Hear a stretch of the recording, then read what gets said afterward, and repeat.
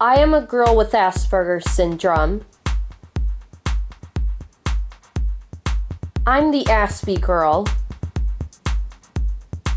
Hi guys, it's Alexa. Welcome to my channel. Do you have any form of autism?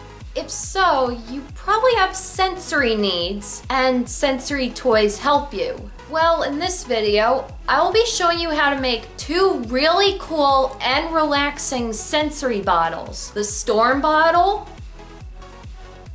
and the Lava Bottle. These DIY sensory bottles are very easy to make and only require a few supplies. Supplies that you probably already have at home, but they'll both help you with sensory needs and keep you occupied for a really long time. Let's get into these sensory bottle DIYs. First, I will be showing you how to make the storm bottle, the sensory bottle that gives off a stormy effect. To make the storm bottle, You'll need a clear plastic bottle. I recommend using one made of strong hard plastic, dish soap, any color you want, vinegar, any type will work. Food coloring is optional, and water. First, if your bottle has a label on it, take it completely off. Try to get it off as best as you can, even if you have to scratch tiny pieces off of the sticky part of the bottle. If you can, Wash off the sticky part of the bottle. Next, fill up the bottle three quarters of the way with water. This will act as the sky in your storm bottle. And then if you want, add food coloring. To make it more realistic looking, I chose blue but you can use any color you want. However, don't add more than a few drops of food coloring or else it'll be too dark to see the stormy effect when you're done. Next, add about a teaspoon of dish soap. This will act as the cloud in your storm bottle and a teaspoon of vinegar.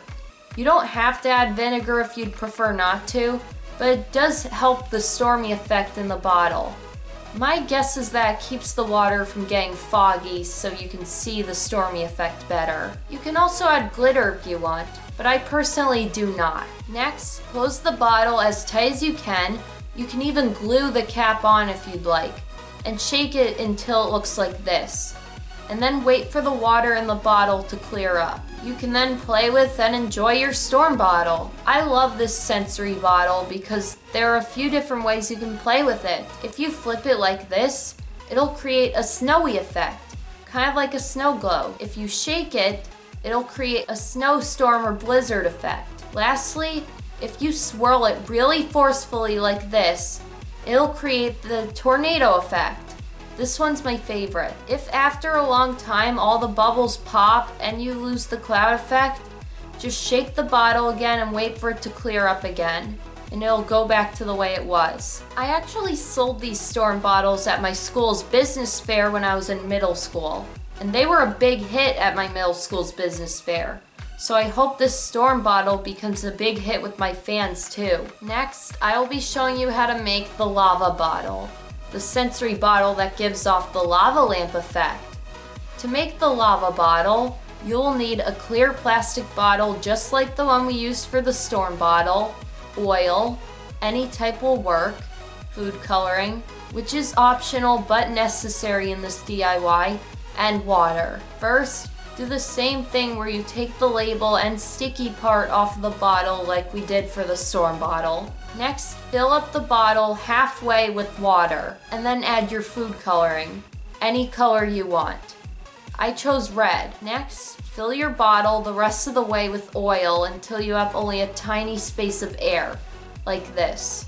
Now, oil can be pretty slippery and messy, so be careful to only pour it in the bottle, nowhere else. Again, you can also add glitter if you want, but I prefer not to. Next, Close the bottle as tight as you can. Again, you can glue the cap on if you'd like. You can then play with your lava bottle and enjoy. The lava bottle is more complicated than the storm bottle, yet you don't have as many ways to play with it. But it's still a very relaxing sensory bottle that'll keep you entertained. The main way of playing with it is flipping it like this, and it gives off your typical lava lamp effect. If you shine a light on it, it looks exactly like a lava lamp, which is so cool.